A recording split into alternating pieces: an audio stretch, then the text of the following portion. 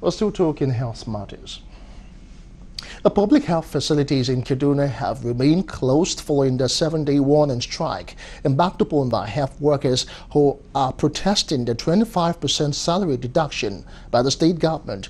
Our correspondent who visited some hospitals in Kafanchan and Zonkwa reports that the health workers have deserted their duty posts and most offices are under lock and key. Some patients who visited the state health facility for treatment had to go back home to seek medical attention elsewhere due to the ongoing strike. I want government to help us.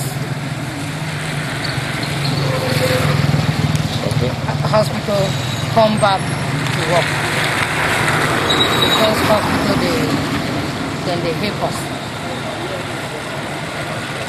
We are only going to private or private are charging us plenty, plenty money.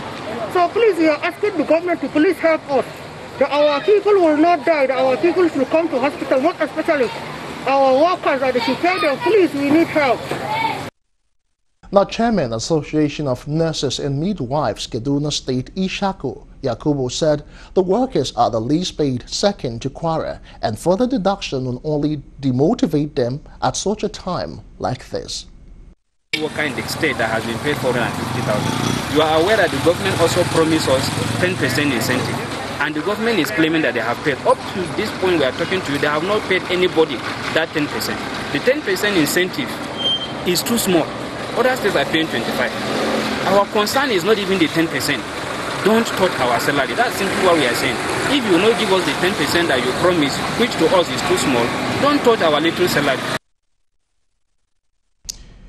And away from all of that, Nemesis has caught up with four grave diggers as they have been arrested for